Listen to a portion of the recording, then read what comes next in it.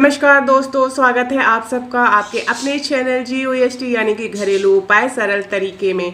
दोस्तों, जो बाल पक जाता है, सफ़ेद हो जाता है, आप सभी को पता है कि अगर आपकी एज नहीं हुई है और एज नहीं होने से पहले ही अगर आपके बाल सफ़ेद हो जाते हैं तो खुद ही अच्छा फील नहीं होता है। एक उम्र होने के बाद बाल सफ़ेद हो तो देखने में अच्छा भी लगता है, लेकिन अभी आपकी कोई एज नहीं हुई हो और फिर भी आपके बाल सफ़ेद हो जाए तो आपको देखने में बिल्कुल भी अच्छा नहीं लगता है।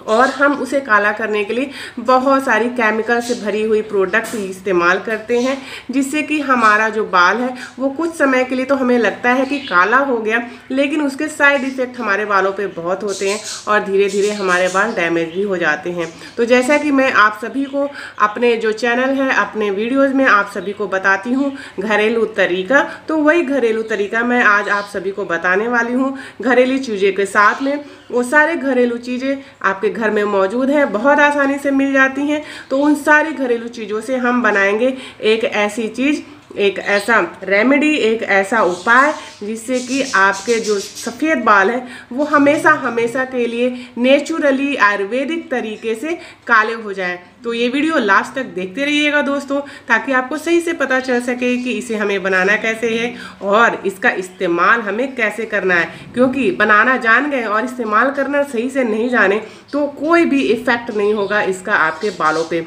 तो इस वीडियो को लास्ट तक देखिएगा, सही से समझिएगा, ताकि आपको कोई भी डाउट न रह जाए।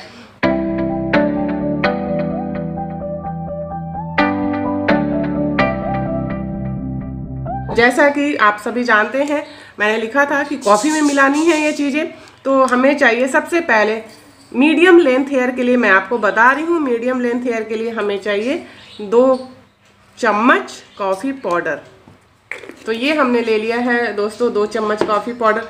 जैसा कि आप सभी के घर में ये कॉफ़ी पाउडर होता है, और कॉफ़ी पाउडर जो है दोस्तों मैं आपको बता दूँ कि इसमें एंटीऑक्सीडेंट होता है और इसमें ओमेगा भी होता है, जो आपके बालों के लिए बहुत अच्छा होता है, आपके बालों को कलर देता है और ये काफ़ी रिच होता है फैटी एसिड से भी। तो इसमें हमने ले लिया है दो चम्मच कॉफ़ी पाउडर और इसी के अनुपात में हम दो चम्मच डालने वाले हैं कोको पाउडर तो ये मीडियम लेंथ के लिए दोस्तों, अगर आपके बाल ज़्यादा बड़े हैं तो आप इसको दो के बजाय चार चार चम्मच भी कर सकते हैं। तो ये हमने ले लिए दो चम्मच।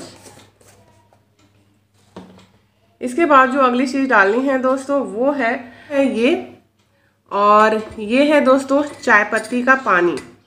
चाय पत्ती को देखिए, हमने खोला लिया है और इसका इस तरीके से पानी हमने बना लिया है। ये देख रहे हैं, कितना अच्छा काला पानी बना हुआ है। तो ये पानी को हमें छान लेना है और उसके बाद हमें ये जो मिक्सचर है, इसके अंदर इस्तेमाल करना है। हमें सबसे पहले ये कॉफ़ी को और कोको पाउडर कोको पाउडर दोस्तों चॉकलेट वगैरह बनाने में इस्तेमाल किया जाता है और आपको ईजिली मिल जाता है। आप बोलेंगे कोको पाउडर हमें चाहिए तो ये कोको पाउडर आपको ईजिली शॉप से मिल जाएगा। अगर कोको पाउडर आपके पास नहीं है तो आप क्या करेंगे कि आप इसको स्किप कर दीजिए, आप इसको छोड़ दीजिए, सिर्फ़ कॉफ़ी में बना के लगाइए। लेकिन अगर साथ में कोको पाउडर डालेंगे तो आपको और भी ज़्यादा इसका बढ़िया रिज़ल्ट मिलेगा।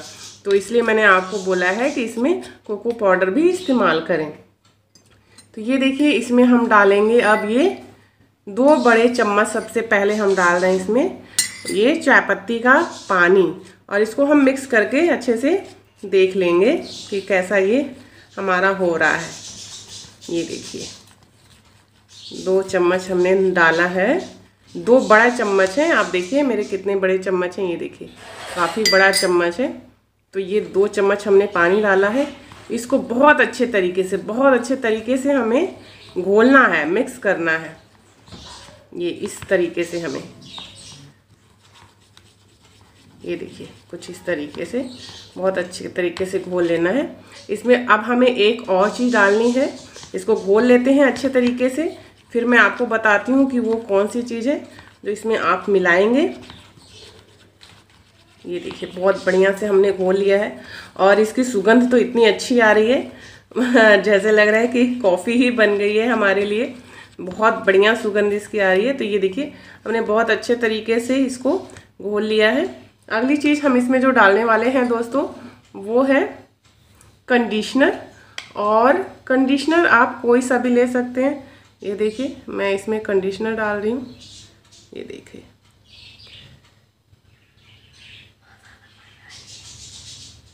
ये देखिए।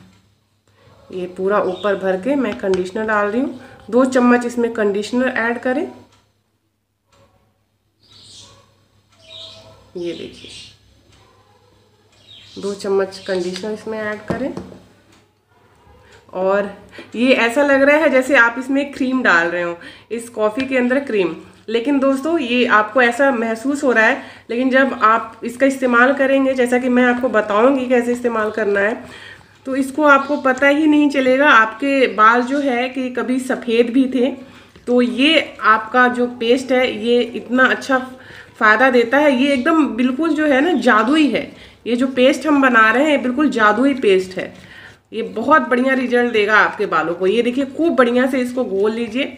बहुत अच्छे तरीके से, बहुत अच्छे तरीके से इसको गोलिए खूब अच्छे तरीके से देखिए गोल लीजिए। एकदम देखिए, कितना स्मूथ बढ़िया सा एकदम, देख रहे हैं आप? ये देखिए, कितना बढ़िया सा ये देखिए।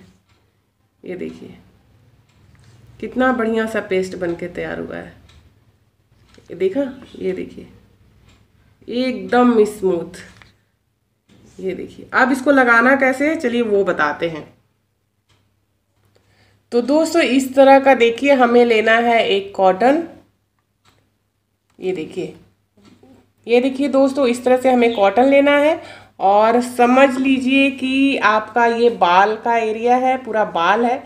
तो ये हमने कॉटन में, ये देखिए कॉटन में डीप किया।